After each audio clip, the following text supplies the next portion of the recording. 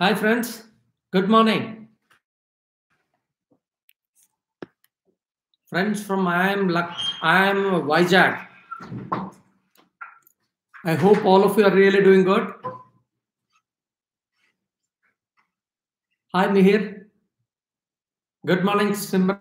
Am I audible? Friends, am I audible? Hello?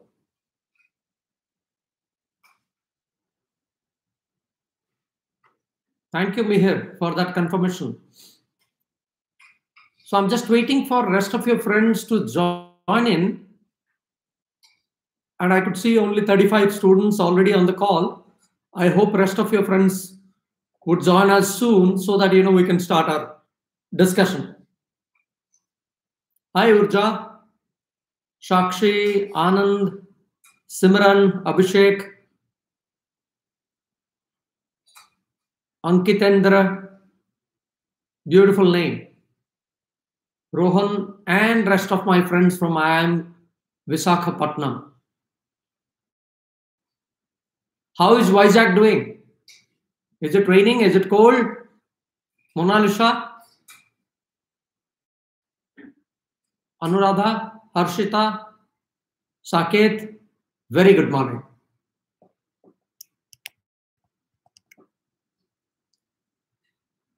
I'll just wait for 30 seconds more. Then, you know, we will start with our discussion. Hi, Aman. Dhanlakshmi. Chintalapudi Naveen. Very good morning. And thank you so much for taking out time on a Wednesday morning for this session. Genuinely appreciate. Just curious to know, are you guys back in your campus? Venkata Sandeep? Steve?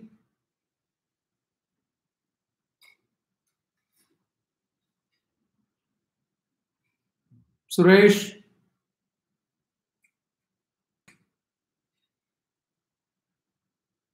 Shiksha, Khanna, Nishant, Suresh Gurunathan. Very good morning. Namaste, sir. Nalarkingla. All my friends from Orissa, thank you so much for joining in. Dhanyavad, बहुत बहुत धन्यवाद. Friends from Andhra, అందరికీ నమస్కారం చాలా thanks sir మీరు time తీసుకొని attend చేస్తున్నారు and for rest of my friends all over India, thank you so much, friends, for logging in. Don't worry, the session is definitely going to be in English. It's just that at times I get a little carried away when I see people from uh, Andhra and Orissa, simply because of the fact that my roots are in Orissa, the border of Andhra and Orissa, not very far from Vizag. Yeah. So I speak uh, the language quite fluently. Very good.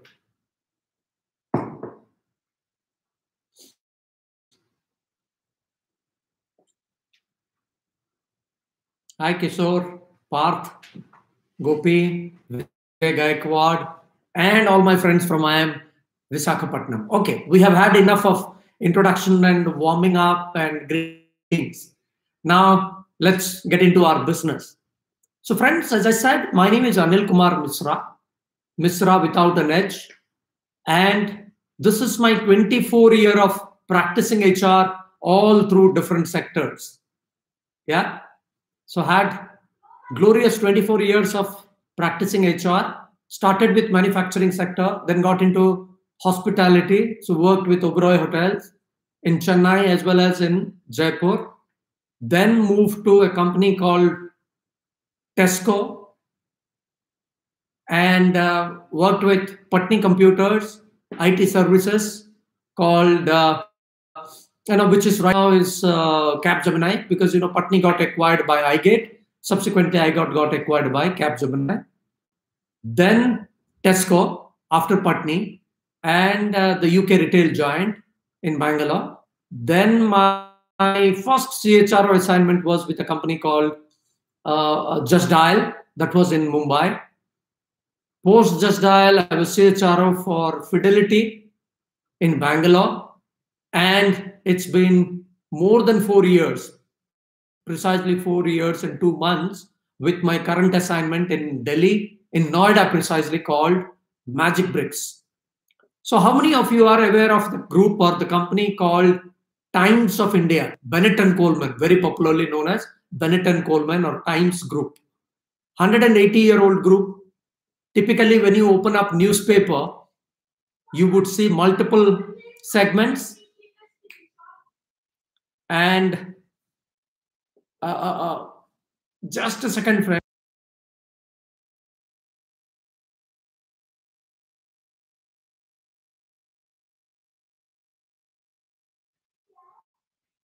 Yeah.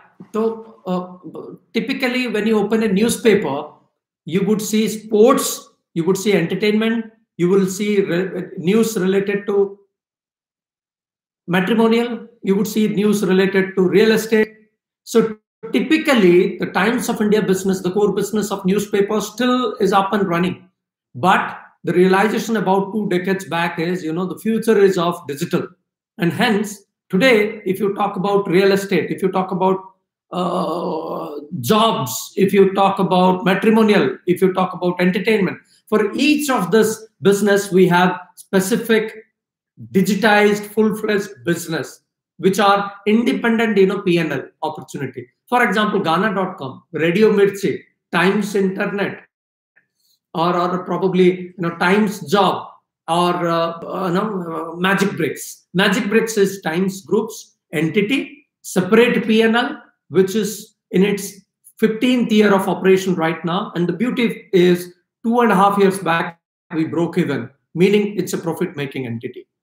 Now, friends, in today's session, what I want to do is I have talked about my journey, career journey. I have talked about the organizations that I have worked precisely with an intent that, you know, whatever we are going discuss, I'm going to share as my life uh, uh, learnings would have reference to one of the company. Yeah. Or I would have learned in any of those companies. Yeah. And hence I felt that is very important for me to set the context. And uh, very good morning, Bhavesh. And uh, so, our topic for the day is how to stay relevant. What are the trends that we are seeing? What are the key learnings I have had in my, which I feel is very important, and hence this session. And uh, definitely, the intent is to share it with all of you. But before I do that, please also, whenever you get an opportunity, convey my regards to your professors and convey my regards to uh, um, Behera, Mr. Behera in administration, right? a good friend of mine. So convey my regards to him also whenever you meet up. Uh, I think I visited your campus about two years back, some Hriday, that HR conference uh, that was happening. And, you know, as part of that, you know, I was in Vizag. Uh, and then since then, I have not visited. But hopefully, when things are back to normal again, then I wish to visit again uh, to your wonderful campus. Yeah. And that beautiful city called Vizag. Okay. Uh, now let me get into our uh, discussion. How many of you have come across statement that people are an organization's biggest asset? We all know, I'm sure, you know, in our academia, we would have studied uh, that, you know, whether you want to start your manufacturing or service sector, typically you need few resources. And those resources in management parlance are called, you know, five M's, men, material, method, market, and money, right? These are the five M. Men includes both men and women, human resources in common. So in that context, I'm sure we would have come across statements like people are an organization's biggest asset. Have you heard about this statement?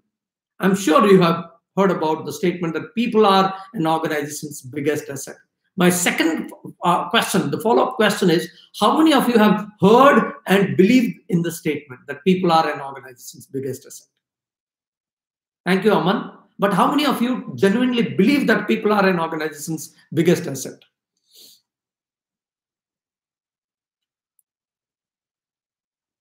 Good.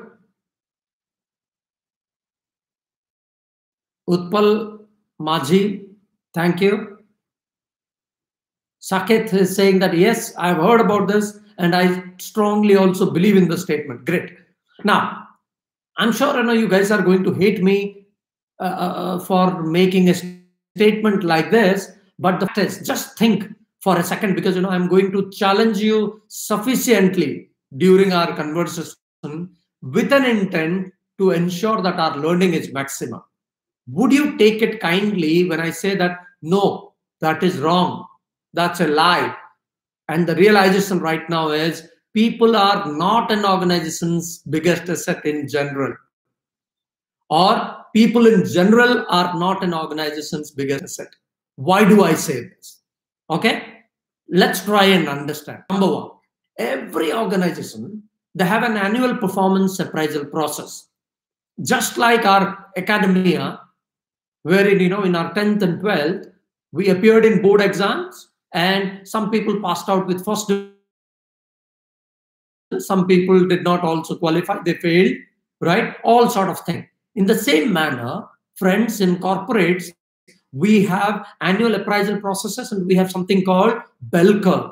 What happens is consciously unconsciously we were asked to find out who are our top talent who are performance uh, performance wise who are our middle of the road who are our bottom performer or otherwise called poor performer. What do we do then? Then we allow them to improve their performance. We put them through a process very popularly called pip which stands for performance improvement plan. Yeah so you give them an opportunity maybe 3 months and uh, you expect people to show some visible improvements in their performance level. What happens? Some people pass out, some people uh, successfully complete the PIP, some people, even after giving an opportunity, they do not show any significant improvement in the performance. So, what happens after that? You ask those people to get out of your company. You initiate exit process. Now, friends, this is one side of the story. Hence, my question to you is if people are your assets, if all people are your assets, would you allow your assets to move out of your company? Is my first logic. You would not. And hence, let's not fool ourselves and let's not believe in the statement fully that people are an organization's biggest asset. I'm saying people in general are not an organization's biggest asset. Number two, second reason. Do you believe we are going through a, some sort of a crisis right now? Answer is undoubtedly yes. The crisis, unprecedented situation called, unprecedented situation called COVID-19 situation. Yeah. So who are the people prone to job losses? People who are already at a higher salary bracket. Yeah. When organizations are struggling to survive, that's when you know they try and find out who are the people least contributing in terms of value addition, but are at a higher salary bracket. They are prone to job losses. And it's a fact. We all have seen during this last six months that there has been plenty of job losses all around us, irrespective of the sector that we belong to. Right? Second point, friends, is people whose performance level is a question mark, they are also prone to job loss. When organizations are forced to go for some sort of a headcount reduction during this difficult time so as to stay relevant, so as to stay afloat, what they do is they try and put some filter. One of the filter criteria is to find out who are top talent. And top talent organizations would not ask them to go. But people who struggle with performance level are the people who are asked to go. And hence, second argument, if people in general are your assets, would you allow them to go? Answer is no. And hence, let's remodify the statement. Let's not make ourselves fool. Let's not fool ourselves. Rather, let's try and reframe uh, the statement. So the uh, new statement I want, want to, I want you guys to remember is people in general are not an organization's asset. Good people are an organization's asset. Now you can say, Anil, that makes a lot of sense. But what do you mean by good people? Good people meaning people who are consistently top performer, Good people are those who whose learnability cycle is very less. People, good people meaning who are aligned to the big picture in terms of contribution. People, good people meaning people who are willing to embrace the change. These are good people and they are truly an organization's asset. Mind you, every organization is a business entity business organization. Profit maximization is ultimately the objective. Unless it's a service sector and you are in a uh, uh, NGO kind of a setup, right? And all business organizations would want to have people hire and retain people who are consistently top performer, who have fantastic attitude, who are always willing to change and embrace the change, right? These are good people right? And these are true assets in organization. Not people in general are in organizations asset. That's very, very big realization even during this unprecedented times. And I thought, let me share this experience with all of you with justification. I'm not saying, uh, uh I have already given you two examples. I'm not saying for the sake of sake, for the sake of creating controversy but definitely these are the reasons what made me believe that people in general are not an organization's asset but good people are an organization's assets yeah number two learning during this unprecedented time i'm sure again we would have come across situations like uh, statements like this is the new normal right this is the new normal right? And I hate to uh, uh, say this, but as a practitioner, I do not believe in the statement. I do not believe that there is anything called new normal. Why? Friends, in 2008, we have seen the great recession and we overcome that. Now we are going through COVID-19 situation. Can you give me a guarantee that tomorrow there would not be any other crisis? there would be other crises in future as well every time there is a crisis as an individual both you and i or as an organization we try and put some systems processes in place to manage with the crisis and those systems and processes are not static they are super dynamic probably they become newer ways of doing things for a limited time frame yeah, but they are not the new normal. The moment you say this is the new normal, it gives a feeling that as if this is static. This is the mantra to deal with all crises. No, that is not the case. Organizations evolve, try to put some processes around to mitigate risk of a specific crisis till the time you have a larger crisis. And hence, I tend to believe there are nothing called, you know, there is nothing called this is the new normal. Yeah, these are the new workplace trends, but this also evolving. Yeah, however, fine, that is a, a theoretically, you know, what I believe, philosophical statement. But let's try and understand what is that is changing all around us right now during this time. Number one is work from home. The flexibility, workplace flexibility is going through a change. Friends, you, this work from home is not an alien concept. Even before the COVID 19 hit us, all of us, most of the organizations have had work from home policies in place. So, what has changed? What has changed is the mindset of leadership member has gone through a change right now. Why? Because the moment you talk about work from home, the assumption earlier used to be by and large, assumption used to be work from home for IT professionals, for product professionals, for tech professionals. In IT services forms makes a lot of sense. What is work from home for uh, uh support functions like HR, like admin, like call centers, like marketing, other functions, right? That has gone through a change. Yeah. Why? Because during April, May, June, when we were forced to follow this lockdown measures, we had no other option but to stay indoors. But everybody expected us to contribute from home. So everybody was working. irrespective of the fact whether you're front of the house or back of the house, everybody was forced to work from home. And mind you, the realization that we all have seen is when it comes to workplace productivity or productivity from home, everybody, irrespective of the fact whether you are IT, non IT, the productivity levels were equally high. So that changed the mindset that yes, work from home or uh, this kind of a workplace flexibility is here to stay. Yeah, there are numerous benefits of work from home, but for easy understanding of student community, I have created one acronym, a short form, and I call it STOP. S T O P.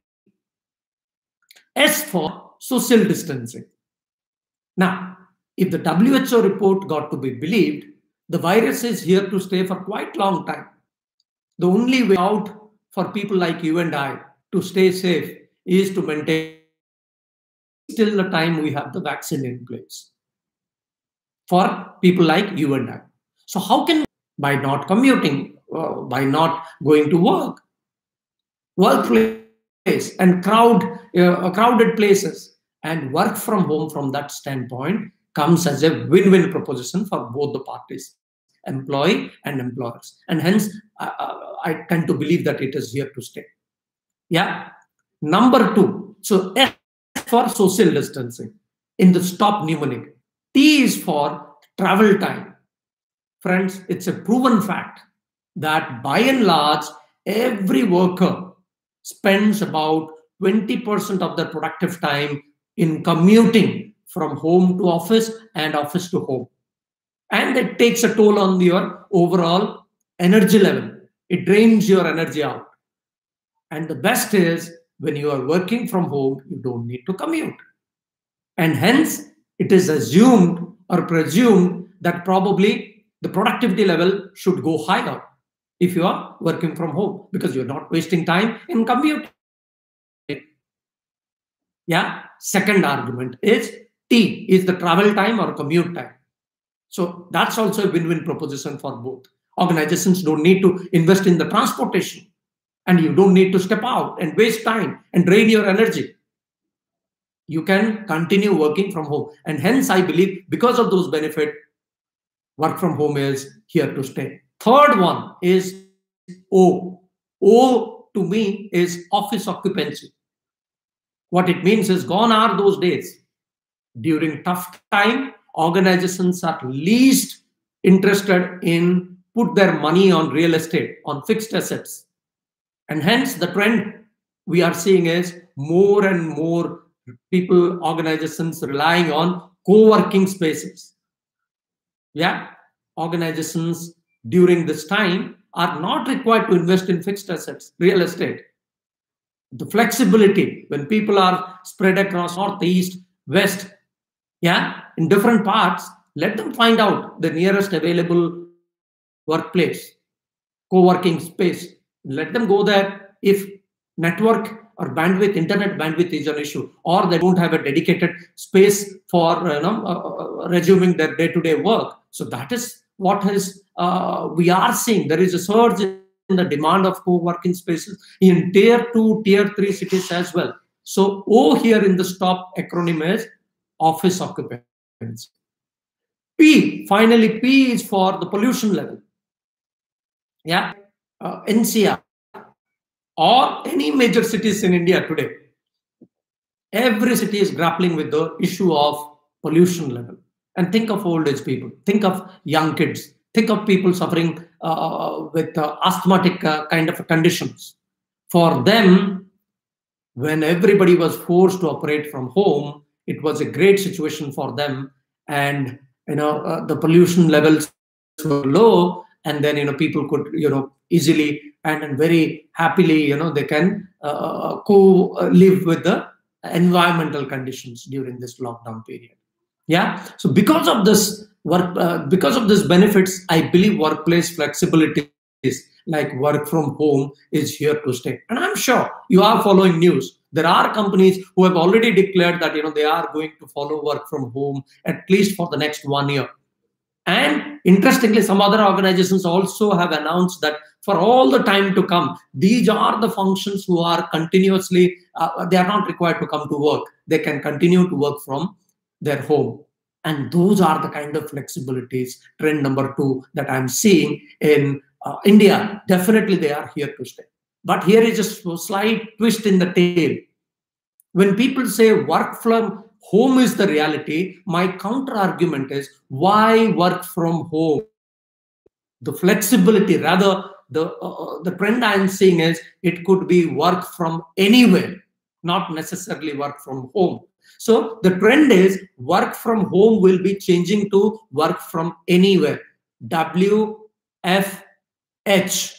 will be changing to WFA. In a high performance driven culture, in a meritocracy uh, setup, what matters is your net value addition, your net uh, uh, value addition to what you committed not necessarily whether you have punched in 8 hours or 10 hours of work. Nobody bothers that. So long as whatever you have committed in terms of your kra objective if you can fulfill then you know that should be absolutely fine with corporates. Corporates or leaders are absolutely fine with this. And hence learning is more workplace flexibility whether in the form of work home or work from anywhere. Doesn't matter even if you operate from the beautiful beaches of goa that should be absolutely fine so long as you add value, you achieve the target that you were expected to drive. That's the trend number two, friends. Third trend that I'm seeing, I pray and hope that all of you should get job of your choice, whether it is final placement or internships or the live projects that you aspire to get into. But this year, at least till the next 12 months, my prediction is definitely we would see a reduction in the total number of uh, uh, full-time jobs. Employment activities when it talk when we talk about full-time employment opportunities there would be a drastic reduction in the number at least in the 12 months time because organizations are waiting and watching how things unfold. Yeah across the globe and hence second point is there are a lot many job losses, and these people are also available in the job market.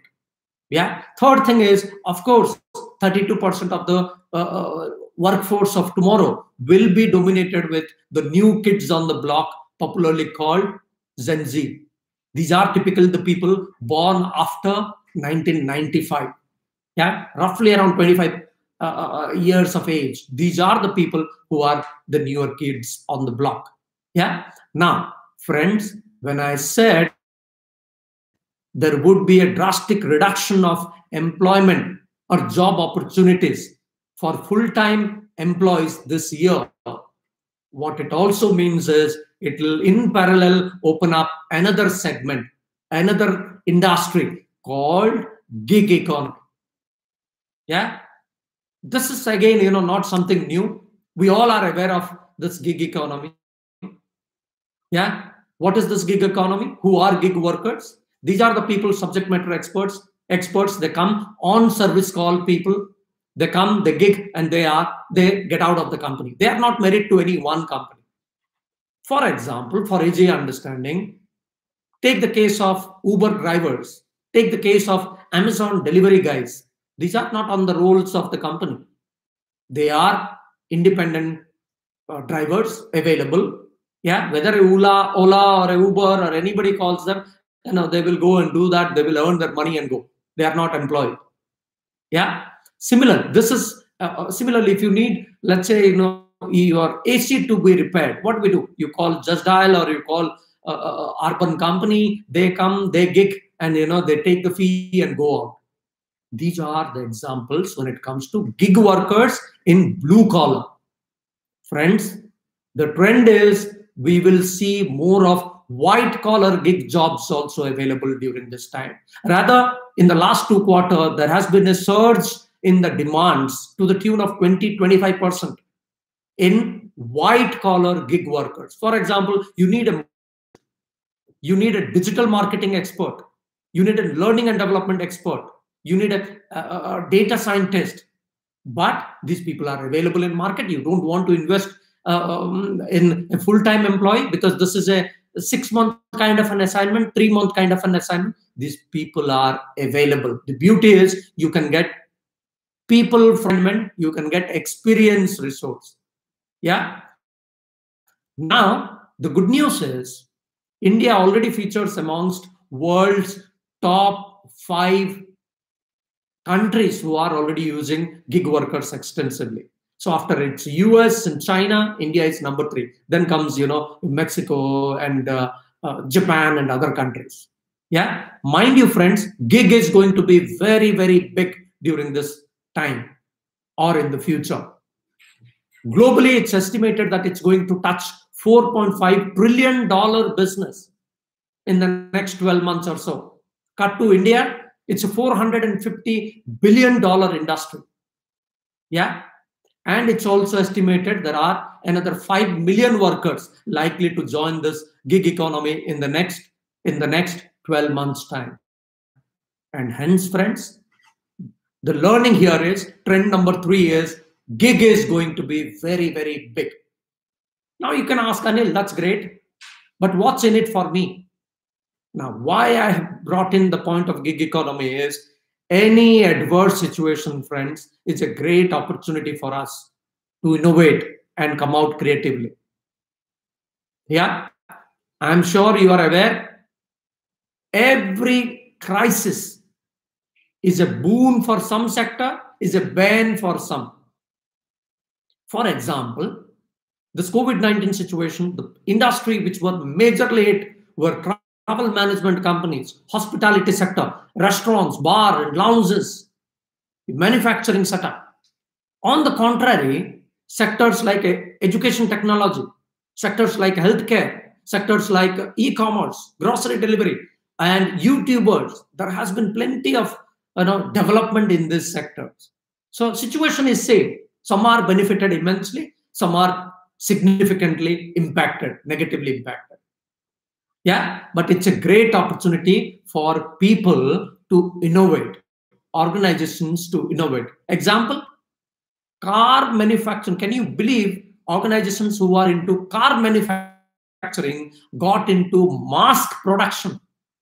Organizations who were not into uh, e-commerce organizations which were not into mm, uh, gross, grocery delivery got into grocery delivery. Why? Because it's a matter of survival how do we stay afloat during this crisis time? So, coming back to what's in it for students, if gig economy is the reality, is gig, gig is going to be uh, uh, uh, really big in future. Request is, or humble submission to all my student friends is, during this time, learning has to be your number one objective. Whatever assignment you are getting, try and grab it with both hands whether it is your final uh, uh, placements or it is summer internship or life projects. Because number one objective during a crisis during difficult time has to be whatever opportunity i cannot uh, afford to be uh, uh very uh, choosy. By all means you know have your aspiration. You wanted to get into consulting you want to wanted to get into fmcg sector but by chance if you're not getting that then grab whatever opportunity you are getting because nobody can take out that learning out of you. And again when times are in your favor when things are back to normal you can encash this years or experience in your favor. Yeah? So third trend is gig is going to be big. Now typically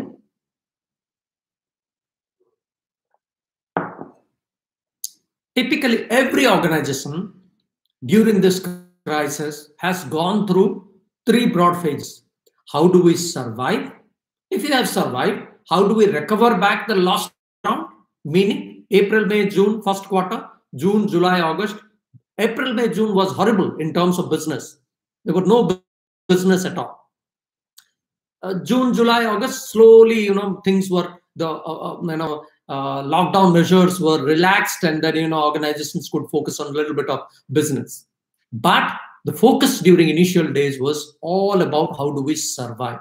And friends you are aware we have seen news organizations or startups or by and large every sector this is sector agnostic has gone for headcount reduction or have deferred their annual increment, have deferred their joining, uh, uh, the, the, the campus hire joining, or complete freeze on hiring activity. Why?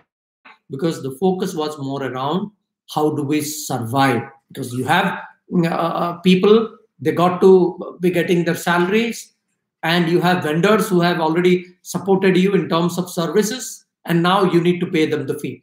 From where you will get this?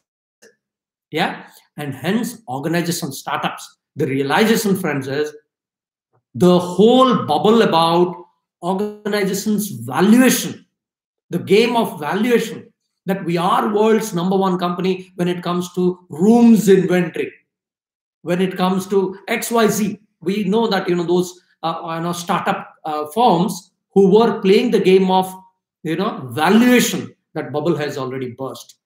So the realization right now is it's not here to stay so the valuation game is not the right metric for evaluating how good is the company. So cash is king. Organizations with a healthy P&L balance found it relatively easier to manage. And hence, the future organizations, if you want to be risk averse, what you should be doing is focus on organizations who are profit making, who are in this business for some time. And there are plenty of e-commerce players also. There are plenty of sectors who are doing good. Relatively, they found it easier to manage this unprecedented time, what we have gone through. Because future is also very, very uncertain we don't know what kind of a crisis is coming. One safe bet is joining a company where it's no longer a valuation game. You can go ahead and you know give a full page ad in any newspaper and media, but you know when it comes to crisis, you don't think twice. You ask people left, right, and center to get out of your company. Now, was that a choice? Was that uh, somebody enjoys that? Answer is no. But do they have any other way? No probably the break even would take 15 years for such players to you know start earning the uh, uh, profit and hence it's always for people like you and i it's a safe bet to join a company which is a profit making entity. That's a realization. Friends one more learning during this time is there are five c's which are very very important which i have learned as a practicing chr yeah i will experience with you so that you know you know how to deal with people related issues. Yeah how sensitive are this number one any crisis you got what happens typically during a crisis what goes through our mind as an employee we feel are we safe what happens if you know some of my family members or i get infected let's talk about covid-19 whether the company will take care of my insurance, whether there is a tie-up with any of the hospital, whether there are you know ambulance services offered by company, etc., etc. Physical of myself and my family. That's on top of my agenda, isn't it? Similarly, whether my job would be there or not, because center and organizations are asking people to go, and what would happen to me, my job, job security is also a top agenda during this time. And few new ways of dealing with things, right? During this crisis, we said that everything is virtual. The onboarding happened virtually. R&R happened uh, uh, uh, virtually. Town halls happened uh, virtually. With this kind of an activity, work from home. Do I need to come to work? How uh, you know, I'm in sales function. Do I need to get into the field job? So these are the curious questions in the uh, uh, back of people's mind and hence first c very very important 5c is what you know i'm going to discuss before i end the session first c is all about communication when there is anxiety when there is uncertainty during any crisis first thing people want to know is communication and a leader or hr need to play a brave front and go ahead and communicate. Tell them about the business scenario. Tell them about why we are doing certain stuff. Then that brings down that anxiety level, that comforts people. So communication is very, very important. Doing that in a timely manner, rather overdoing in certain cases is also fine. but communication is the first c and organizations or leaders who did that proactively found it relatively easier to manage. Yeah? So first c is about communicating. Whenever you go through whenever you go through a crisis proactively go ahead and communicate. It's a win-win proposition for both. Number two is about connect man is a social animal we talk right so in isolation we cannot we all were used to work in groups in our campuses learn together study together uh, uh eat out uh, together or probably in corporates you know have meetings yeah, cross-functional meetings, task force, etc., etc. This COVID-19 situation has forced us all to stay indoors. So come, uh, connect is very important. So what we did is proactively pick up the phone, talk to people. Hey, how? Uh, just inquire about their well-being. Or we used to have our evening parties through all virtual mode. You carry your food, I carry my food. We will laugh. We'll have a good laugh over some you know, point and you know we will find out we will talk to each other and that happened even for you know young kids in their own groups because you know they were feeling stressed out so connect is very very important yeah third c is about catharsis what is this catharsis during aristotle time this was introduced and uh, catharsis meaning allowing people to vent out their anger, their angst is good for mental health. Suppressing their thought process, anger, anxiety is not good for mental health. So, allowing people to speak their mind. So, we had to handhold, we had to train our uh, managers about the least that people deserve to get is give them a patient hearing. Let them speak their mind. So, people who are on their way out exit or people who were told uh, to you know leave then you know they come under a lot of stress and some people emotionally outburst some people uh, play the role of a critic some people they break down irrespective of that some people give you very harsh feedback but what you can do is it's definitely not the right thing to demean the dignity of labor yeah always advisable to hear them out understand what they are going through very, very important. Third C is catharsis. Yeah. And fourth C, that's all about catharsis. Fourth C is all about compassion. Compassion is all about empathy. Yeah. There is sympathy and there is empathy. Sympathy is oh sad to hear that you are you lost your job. Is is sympathy. Nobody wants sympathy. Compassion is all about empathy meaning you try to put yourself in somebody else's shoe and okay i can feel what you are currently going through and hence once you internalize once you feel once you are compassionate then you would walk an extra mile to help somebody out. So what we did i would be lying if i say that you know no we didn't ask anybody to get out of our company. It happened. Even the entire recruitment team were relatively free during that time. So what we said is, you don't have uh, know, hiring pressure at this stage. What the least we could do is help people in preparing their CV, in posting it in on job portals. And HR people are well networked and they get to know, know first organization hiring. So what we did is prepared their CV or did uh, uh, the job posting and also help them out in terms of giving leads who are hiring. In addition to taking the help of an outplacement agency. Yeah. So doing all of this shows that you are compassionate about your people. And friends, mark my words, that goes a long way. How you treat people as a leader, or how an organization, or what all steps an organization initiates during tough time would be the true test of your character. When chips were down, how you performed is what people remember. And hence, very, very important for us to make sure that you play uh, uh, uh the, uh, the, the, compassionate on, on compassionate ground. And last C is all about coaching. Yeah, not necessarily work from home.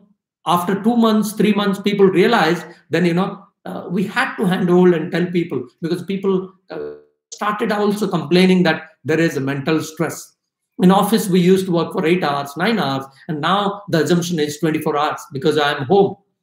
And any manager can call anytime. And if i don't pick up the call then probably you know it's not viewed that it's viewed that you know i'm on my picnic. No those were wrong assumptions so we had to counsel we had to coach uh, all the people managers in terms of it's fine if people do, did not pick up the call. Probably they are having a meal with their family members right and then probably there is some other uh, exigency in the family right? So those are the five learnings in terms of c.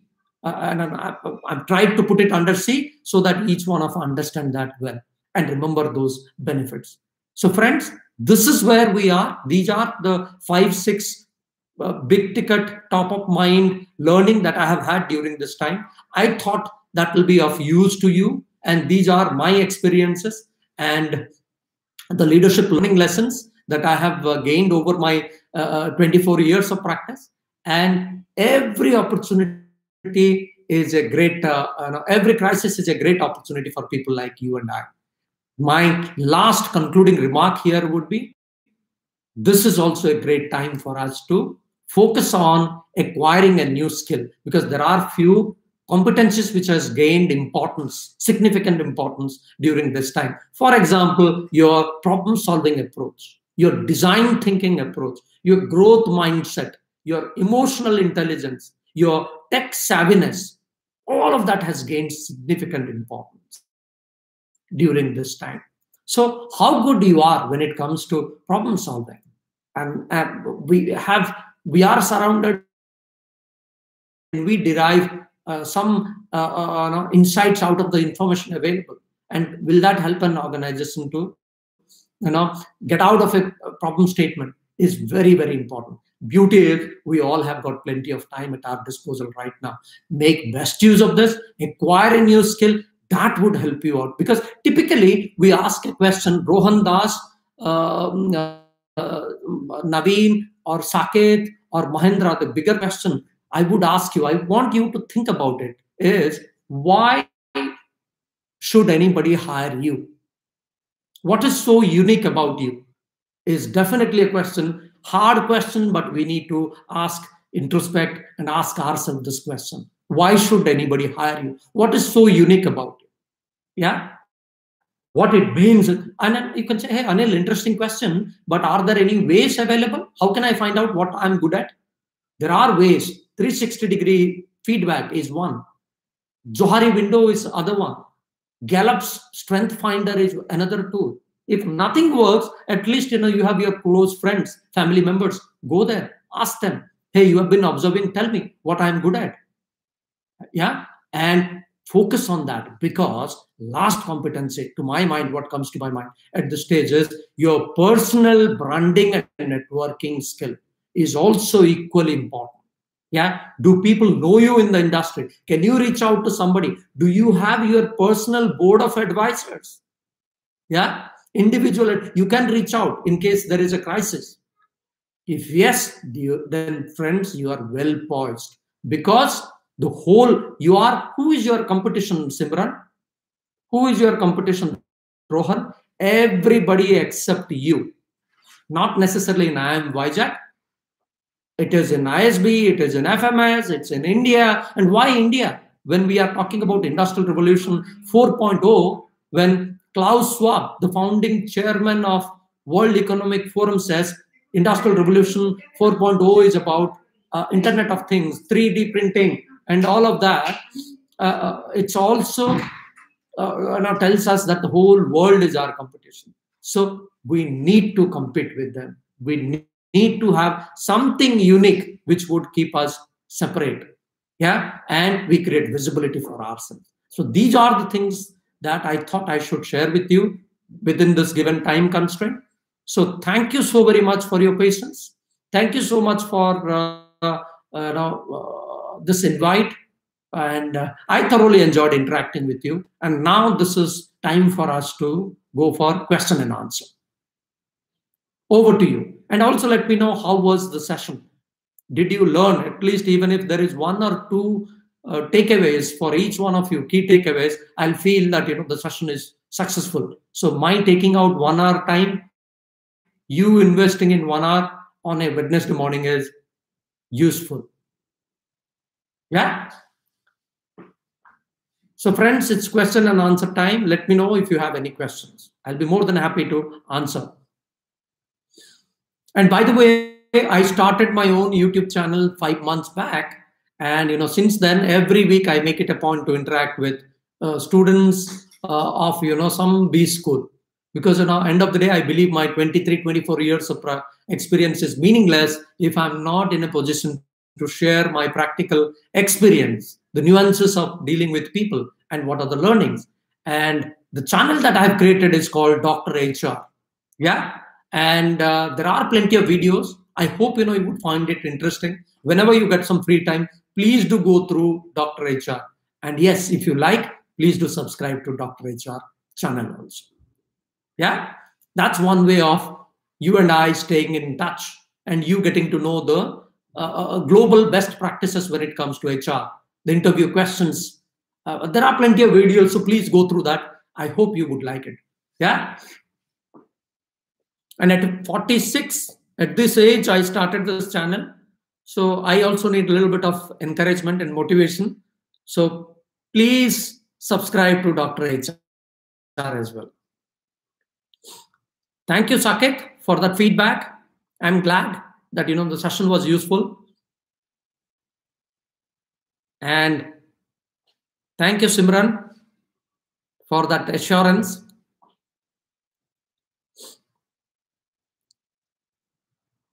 Absolutely, could not agree more to your point, Aman. Emotion drives behavior, and hence both emotion and behavior is very, very significant when it comes to managing people at work.